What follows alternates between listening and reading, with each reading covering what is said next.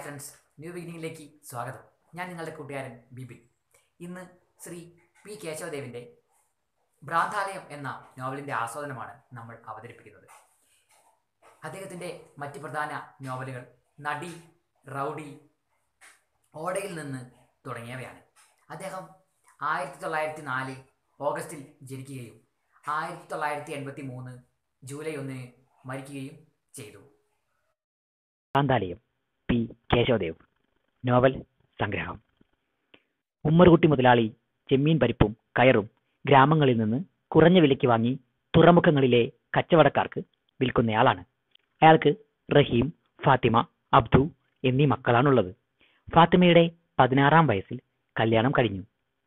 അബ്ദു ഗൗരവക്കാരനായിരുന്നു. പഠനത്തിൽ ശ്രദ്ധിച്ചിരുന്നു. ഓത്തു പഠിപ്പിക്കാൻ വന്ന മുസ്ലിയാരെ അബ്ദുവിന് പ്രിയമാണ്. റഹീം ആകട്ടെ പഠിക്കാൻ മടിയനായിരുന്നു. പണം ധാരാളമായി ചിലവാക്കുകയും മറ്റുള്ളവരെ സഹായിക്കുകയും ചെയ്യാൻ അദ്ദേഹം ശ്രമിച്ചു. ജാതി മത ഭേദമില്ലാതെ അയാൾ എല്ലാവരെയും കണ്ടു. ജാതി മത ഭേദമില്ലാതെ ഉള്ള സുഹൃത്തുക്കളും അയാൾക്ക് ഉണ്ടായി. യുദ്ധം നിമിത്തം കപ്പൽ ഗതാഗതം സാധ്യമില്ലാഞ്ഞിട്ടോ മറ്റോ വ്യാപാരമിടിഞ്ഞപ്പോൾ മുതലാളി പാപ്പരായി തുടങ്ങി. അബ്ദുവും മുസ്ലിയാരും റഹീം പണം ദുരുപയോഗം ചെയ്യുന്നതിനെ പറ്റി മുതലാളിയോട് പറഞ്ഞു. ഒരു ദിവസം ചന്തയിൽ വെച്ച് ഗോപാലിന്റെയും ജോർജിന്റെയും കൃഷ്ണന്റെയും കൂടെ സംസാരിച്ചു നിൽക്കുന്ന റഹീമിന് നേരെ അബ്ദു വഴക്കുണ്ടാക്കി. അയാൾ അന്യമതസ്ഥരുമായി കൂട്ടുകൂടുന്നത് അബ്ദുവിന് ഇഷ്ടപ്പെട്ടില്ല. തന്റെ പണം പണം ദൂർത്തടിച്ച് അന്യമതസ്ഥരുമായി കൂട്ടും കൂടി നടക്കുന്ന റഹീം ചെയ്ത്താന്റെ മോനാണെന്നും അവൻ വീട്ടിൽ കയറിയാൽ കാൽ വെട്ടുമെന്നും മുതലാളി പറയുന്നു. റഹീം നാട് വിട്ട് പോകുന്നു. ഉമ്മർ കുട്ടിയുടെ കടക്കാർ വീടും പുരയിടവും ലേലത്തിൽ വിറ്റു. അങ്ങനെ തന്റെ ഭാര്യയ്ക്ക് സ്ത്രീധനം കിട്ടിയ നാൽപ്പത് സെന്റ് സ്ഥലത്തേക്ക് അവർ താമസം മാറി. തരിശായി കിടന്ന പറമ്പ് പണ്ടൊരു വേലക്കാരൻ താമസിച്ച ഒരു കുടിലും അവിടെ ഉണ്ടായിരുന്നു. തുടർന്ന് ഉപ്പയുമ്മയും മരിക്കുകയും അബ്ദു ആ കുടിലിൽ ഒറ്റയ്ക്കാകുകയും ചെയ്തു. ഔസേപ്പ് സഹതാപം തോന്നി അബ്ദുവിന് ചായ വാങ്ങിക്കൊടുത്തു. അങ്ങനെ ചായക്കടയിൽ പത്രം വായിക്കാൻ ഒരവസരം കിട്ടുകയും അവിടുത്തെ പത്രം വായനക്കാരനാകാൻ അബ്ദുവിന് അവസരം ലഭിക്കുകയും ചെയ്തു. അബ്ദുവിന് പത്രം വായിക്കുന്നതിന് പ്രതിഫലമായി ദോശയും ചായയും ബീഡിയും കിട്ടും. അബ്ദുവിന്റെ വീടിന്റെ അടുത്തുള്ള കുടിലിൽ പാത്തുമ്മയും മക്കളായ തത്തയും ജലീമയും താമസിക്കുന്നു. പാത്തുമ്മയുടെ ഭർത്താവായിരുന്ന മമ്മദ് കൃഷിക്കാരനായിരുന്നു. എന്നാൽ ജന്മി നേരിട്ട് കൃഷി ചെയ്യാൻ പോകുന്നു എന്ന് പറഞ്ഞ് മമ്മദിനെ ഒഴിപ്പിച്ചു. കൃഷിപ്പണി നടത്തിയത് കിട്ടനായിരുന്നു. കിട്ടൻ എന്ന ഒരാളായിരുന്നു മേൽനോട്ടക്കാരനായിരുന്നു മമ്മദ്. മമ്മദും കിട്ടനും കാലിച്ചാക്ക് കച്ചവടം തുടങ്ങി. തന്റെ ഗർഭിണിയായ ഭാര്യയെ ശുശ്രൂഷിക്കാൻ കിട്ടന് സമയം കിട്ടിയില്ല. കച്ചവടത്തിന് പോയില്ലെങ്കിൽ വീട് പട്ടിണിയാവുകയും ചെയ്യും. അങ്ങനെ എന്തു ചെയ്യണം എന്നറിയാത്ത ഒരവസരത്തിൽ പാത്തുമ്മ അവളെ ശുശ്രൂഷിക്കാം എന്ന് ഏറ്റു. പാത്തുമ്മയും മാധവിയും ഓരോ പെൺകുഞ്ഞുങ്ങളെ പ്രസവിച്ചു. പ്രസവശേഷം മാധവി മരിച്ചു. മാധവി പാത്തുമ്മയോട് ഇരട്ട പെറ്റതാണെന്ന് കരുതണം എന്ന് പറഞ്ഞ ശേഷമാണ് മരിക്കുന്നത്. കിട്ടന് തന്റെ കുഞ്ഞിനെ നോക്കാൻ ഉള്ള പണം ഉണ്ടായിരുന്നില്ല. അങ്ങനെ ആ ഒരു അവസ്ഥയിൽ കിട്ടൻ അവിടെ നിന്ന് നാട് വിടുകയാണ്. അങ്ങനെ രണ്ട് മക്കളെയും പാത്തുമ്മ വളർത്തി. പാത്തുമ്മയുടെ മകൾക്ക് ജലീമ എന്നും ജലീമ എന്നും മാധവിയുടേതിന് തത്ത എന്നും പേരിട്ടു. മമ്മദിന് പനി പിടിച്ചു. അത് പൂർണമായി ഭേദമാകുന്നതിന് മുമ്പ് മമ്മദ് ഭാര്യയുടെ നിർബന്ധത്തിന് വഴങ്ങി ജോലിക്ക് പോയി.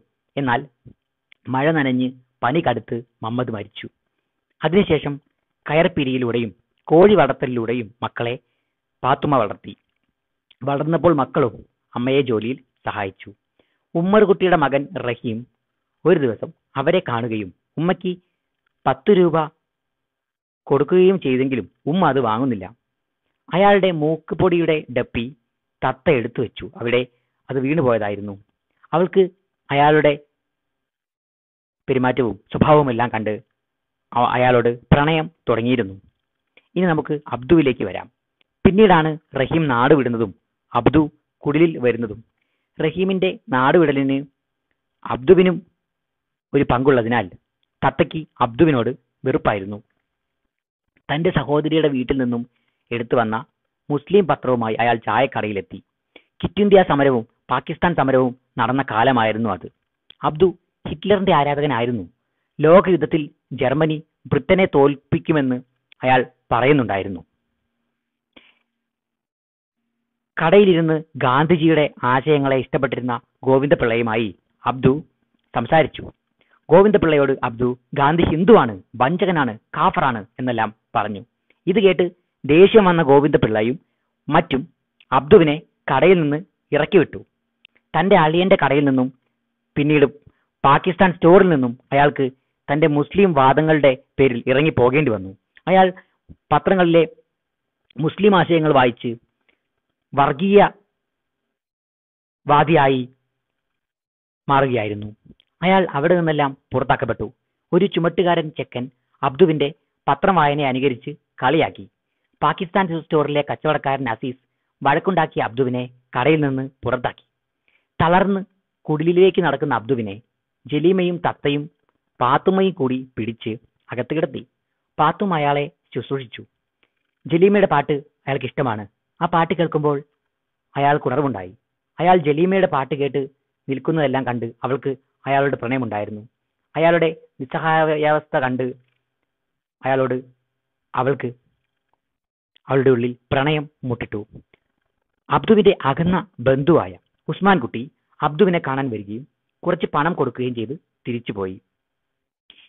അങ്ങനെ ഇരിക്കെ നാട് വിട്ടുപോയ നമ്മുടെ തത്തയുടെ അച്ഛൻ കിട്ടൻ തിരിച്ചു വരികയും പലചരക്ക് കച്ചവടം തുടങ്ങുകയും ചെയ്തു. ആസാം റോഡ് പണിക്കെല്ലാം പോയി ഒരുപാട് പണം സമ്പാദിച്ച് അയാൾ കൃഷ്ണൻ മുതലാളിയാണ്. അയൽക്കാരിയായ അന്നമ്മ വഴി തത്ത കിട്ടനാണ് തന്റെ അച്ഛൻ എന്ന് മനസ്സിലാക്കുന്നു. അവൾ ഉമ്മയുടെ വീട്ടിലും അച്ഛന്റെ വീട്ടിലും മാറി മാറി താമസിക്കുന്നു. ജലീമയും അബ്ദുവും തമ്മിലുള്ള പ്രണയം മനസ്സിലാക്കുന്ന പാത്തുമ്മ അവരുടെ നിക്കാഹ് നടത്തി കൊടുക്കുന്നു അബ്ദുവിനോട് വലിയ താല്പര്യമില്ലാത്ത തത്ത നിക്കാഹ് കഴിഞ്ഞപ്പോൾ അച്ഛന്റെ വീട്ടിലേക്ക് പോകുന്നു. പിറ്റേത് രാവിലെ അവളെ കാണാതെ ഉമ്മ കിട്ടന്റെ വീട്ടിലേക്ക് ഓടുന്നു. കിട്ടൻ ദേഷ്യത്തിൽ മേത്തച്ചിയാണോ നിന്റെ ഉമ്മ എന്ന് ചോദിക്കുകയും അപമാനിക്കുകയും ചെയ്യുന്നു. അവൾ പെട്ടെന്ന് പെറ്റ അന്ന് തുടങ്ങി മുല്ല തന്ന് വളർത്തിയ ഈ മേതച്ചിയ എന്റെ ഉമ്മ എന്ന് പറയുന്നു. കിട്ടൻ അവളെ അവിടെ നിന്ന് ഇറക്കി വിടുന്നു. അങ്ങനെ തത്ത സ്ഥിരമായി പാത്തുമ്മയുടെ വീട്ടിൽ താമസിക്കുന്നു. അബ്ദു ബീഡി തെറുക്കുന്ന കടയിൽ ജോലിക്ക് കയറുന്നു. മുസ്ലിം പത്രങ്ങൾ വായിച്ച് അയാളിൽ മതചിന്തകൾ അമിതമായി കടന്നു വന്നു. അങ്ങനെ അബ്ദു പട്ടണത്തിലെ മുസ്ലിം സമ്മേളനത്തിൽ പങ്കെടുക്കുന്നു. അവിടെ വെച്ച് പ്രസംഗിച്ചവർ ബ്രിട്ടീഷുകാർ മുസൽമാരിലേക്ക് ഭരണം കൈമാറണമെന്നും പാകിസ്ഥാൻ കൊണ്ട് നാം തൃപ്തിപ്പെടാം എന്നും പ്രസംഗിക്കുന്നു. അയാൾ വീട്ടിലധികം സംസാരിക്കാറില്ല. ബംഗാളിലും പഞ്ചാബിലും ബോംബെയിലും മതഭ്രാന്ത് നിറഞ്ഞു. ഹിന്ദു മുസ്ലിം കലാപങ്ങൾ നടമാടി. അബ്ദുവിന്റെ ഉള്ളിൽ കലാപാഗ്നി നിറഞ്ഞ് പീഡിതെടുക്കൽ ശരിയാവാതായപ്പോൾ കടയിൽ നിന്ന് അയാളെ പറഞ്ഞുവിടുന്നു. അബ്ദു രാത്രിയിൽ വെറുതെ ഉലാത്തുകയും ആകാശത്ത് നോക്കി ഓരോന്ന് പറയുകയും ചെയ്യുന്നു. മൊത്തത്തിൽ ഭ്രാന്ത് പിടിച്ച അവസ്ഥ. പാകിസ്ഥാൻ പ്രഖ്യാപനം ഉണ്ടായപ്പോൾ അബ്ദു ആവേശത്തോടെ പാകിസ്ഥാനിൽ പോകാം എന്ന് ജലീമിയോട് പറഞ്ഞു. അങ്ങനെ ഇന്ത്യ രണ്ടായി വിഭജിക്കപ്പെട്ടിരുന്നു. പെട്ടിരിക്കുന്നു. മുഹമ്മദ് അലി ജിന്നയുടെ ദ്വിരാഷ്ട്ര സിദ്ധാന്തം അനുസരിച്ച് പാകിസ്ഥാൻ രൂപീകരിക്കപ്പെട്ടു കഴിഞ്ഞു. അങ്ങനെ ആ കുടുംബം പാകിസ്ഥാനിലേക്ക് പലായനം ചെയ്യുന്നു. ട്രെയിനിൽ വെച്ച് അവർക്ക് വെള്ളം പോലും കിട്ടുന്നില്ല. ആളുകൾ മതഭ്രാന്ത് പിടിച്ച് തമ്മിൽ തല്ലുന്നു. റാം റാം എന്ന് പറഞ്ഞ് ഹിന്ദുക്കളും അള്ളാഹു അക്ബർ എന്ന് പറഞ്ഞ് മുസ്ലിങ്ങളും തമ്മിൽ തല്ലുകയും കൊല്ലുകയും ചെയ്യുന്നു. അബ്ദു കഠാരിയും എടുത്ത് കലാപകാരികൾക്കിടയിലേക്ക് പോവുകയും പതിക്കപ്പെടുകയും ചെയ്യുന്നു. തത്ത അവിടെ വെച്ച് റഹീമിനെ കാണുന്നു. അവർ സംസാരിക്കുന്നു. അയാൾ പഞ്ചാബിലെ സെന്റ് കച്ചവടക്കാരന്റെ ശമ്പളക്കാരനായെന്നും പിന്നീട് എല്ലാവർക്കും മതഭ്രാന്ത് പിടിച്ചു എന്നും ഒരിടത്തും രക്ഷയുണ്ടായില്ല എന്നും പറയുന്നു. അവർ ആ അഭയാർത്ഥികൾക്കിടയിലൂടെ അഭയാർത്ഥികളായി നടന്നു. വെടിവെപ്പിലും തിക്കിലും തിരക്കിലും കലാപത്തിലും ആളുകൾ മരിച്ചു വീഴുന്നുണ്ടായിരുന്നു. ഗാന്ധിജിയുടെ സന്ദേശത്തെ ആളുകൾ അവഗണിച്ച് എങ്ങും കലാപമുണ്ടായി. ദൈവത്തിന്റെ മക്കളെ പരസ്പരം സ്നേഹിക്കുവിൻ എന്ന ശബ്ദം അവിടെ മാറ്റലി കൊണ്ടു. പാത്തുമ്മ മരിച്ചു. അവർ ഓരോരുത്തരായി ആ മരുഭൂമിക്ക് സമമായ ഭൂമിയിൽ തളർന്നു വീണു. ഭ്രാന്താലയം എന്ന നോവൽ രചിക്കപ്പെടുന്നത് രണ്ടാം ലോക മഹായുദ്ധത്തിന്റെയും ഇന്ത്യ വിഭജ വിഭജനത്തിന്റെയും കാലഘട്ടത്തിലാണ്. രണ്ടാം ലോക ലോക മഹായുദ്ധം. ജർമ്മനിയിലെ ഏകാധിപതിയായിരുന്നു ഹിറ്റ്ലർ. ബ്രിട്ടൻ ഇന്ത്യയിൽ ആധിപത്യം സ്ഥാപിച്ചിരുന്നു. യുദ്ധത്തിൽ ജർമ്മനിക്കെതിരെ ബ്രിട്ടനായിരുന്നു യുദ്ധം ചെയ്തിരുന്നത്. മറ്റു പല രാജ്യങ്ങളും ലോകമഹായുദ്ധത്തിൽ പങ്കെടുത്തിരുന്നു. ആയിരത്തി തൊള്ളായിരത്തി നാൽപ്പത്തി രണ്ടിൽ കിറ്റ് ഇന്ത്യ സമരവും പാകിസ്ഥാൻ സമരവും നടന്നു. മുഹമ്മദ് അലി ജിന്നയുടെ ദ്വിരാഷ്ട്ര സിദ്ധാന്തമനുസരിച്ച് മുസ്ലിങ്ങൾക്ക് മാത്രമായി ഒരു രാജ്യം വേണമെന്ന ആവശ്യം എങ്ങും ഉയർന്നു. അങ്ങനെ ഹിന്ദുക്കളും മുസ്ലിങ്ങളും തമ്മിൽ വർഗീയ ലഹളകളും കലാപങ്ങളും ഉണ്ടാവാൻ തുടങ്ങി. മതത്തിന്റെ ഭ്രാന്ത് ഇവിടെയാകെ പടർന്നു പിടിച്ചു. മതഭ്രാന്ത് മനസ്സിൽ നിറഞ്ഞ ആളുകൾ പരസ്പരം തല്ലുകയും പഴി പറയുകയും കലാപങ്ങൾ ഉണ്ടാക്കുകയും ചെയ്തു. ബോംബെയിലും പഞ്ചാബിലും ബംഗാളിലും അങ്ങനെ ഇന്ത്യയിൽ കലാപത്തിന്റെ ധ്വനി എങ്ങും പരക്കുന്ന ഒരു അന്തരീക്ഷം രൂപപ്പെട്ടു. ആ ഒരു അവസ്ഥയിൽ നിന്നുകൊണ്ടാണ് ഭ്രാന്താലയം എന്ന നോവൽ രചിക്കുന്നത്. സ്വാമി വിവേകാനന്ദൻ പണ്ട് കേരളത്തിന്റെ അവസ്ഥ കണ്ട് ഭ്രാന്താലയം എന്ന് പറയുകയുണ്ടായല്ലോ. അതുപോലെ കേരളവും ഇന്ത്യ ഒട്ടാകെ ഒരു ഭ്രാന്താലയമായി മതഭ്രാന്ത് പിടിച്ച് തമ്മിൽ തല്ലുകയും വെട്ടുകയും കുത്തുകയും ചെയ്യുന്ന മതഭ്രാന്ത് പിടിച്ച ഒരു ഭ്രാന്താലയമായി മാറുന്ന ഒരു പശ്ചാത്തലത്തെ പശ്ചാത്തലത്തിലേക്കാണ് ഈ നോവൽ നമ്മളെ കൂട്ടിക്കൊണ്ടുപോകുന്നത് നോവലിൽ മതത്തിനും ജാതിക്കും അതീതമായ മനുഷ്യ സ്നേഹത്തെ പ്രകീർത്തിക്കുന്നുണ്ട്. പാത്തുമ്മയുടെ സ്വഭാവത്തിൽ ഇത് പ്രകടമാണ്. അവർ മാധവിയുടെ കുഞ്ഞിനെ സ്വന്തം കുഞ്ഞിനെ പോലെ വളർത്തുന്നു. അവിടെ ജാതി മതഭേദങ്ങൾക്ക് അതീതമായിട്ട് എല്ലാവരെയും ഒന്നാക്കുന്ന സ്നേഹമെന്ന ആ ശക്തി നോവലിൽ നിറഞ്ഞു നിൽക്കുന്നത് നമുക്ക് കാണാൻ കഴിയും. ജലിമയും തത്തയും സഹോദരികളായി തന്നെ വളർന്നു വരുന്നു. അവിടെ അവിടെയും നമുക്ക് കാണാൻ കഴിയും. എന്താണ് അവരെ തമ്മിൽ വേർപെടുത്തുന്നത്? മതം എന്ന ഒരു വർഗീയ ചിന്ത മാത്രമേ എല്ലാവരെയും വേർപെടുത്താനുള്ളൂ. ഇല്ലെങ്കിൽ എല്ലാവർക്കും സമാധാനമായിട്ടും സന്തോഷത്തോടെയും കഴിയാൻ സാധിക്കും. എന്നും ഇവിടെ തെളിയിക്കാൻ നോവലിസ്റ്റിന് കഴിയുന്നുണ്ട്. വർഗീയ ലഹളകൾ രൂപപ്പെട്ടപ്പോൾ ഇന്ത്യ വിഭജനം നടന്നപ്പോൾ അഭയാർത്ഥി പ്രവാഹമുണ്ടായി. ഹിന്ദുക്കൾ പാകിസ്ഥാനിലേക്കും പോകേണ്ട ഒരവസ്ഥ.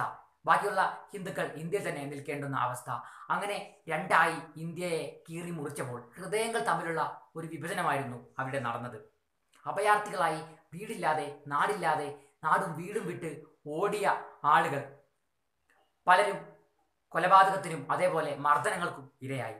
പല സ്ത്രീകളെയും പീഡിപ്പിക്കുകയും കൊലപ്പെടുത്തുകയും ചെയ്തു. ആ ഒരു പശ്ചാത്തലം വളരെ ഭംഗിയായി തന്നെ അവതരിപ്പിക്കാനും മത തീവ്ര ചിന്തകൾക്കെതിരെ മുന്നോട്ട് വരാനും ഈ നോവലിലൂടെ നോവലിസ്റ്റിന് കഴിയുന്നുണ്ട്. മറ്റൊരു മനോഹരമായ വീഡിയോയുമായി ന്യൂ ബിഗിനിങ് വീണ്ടും വരും.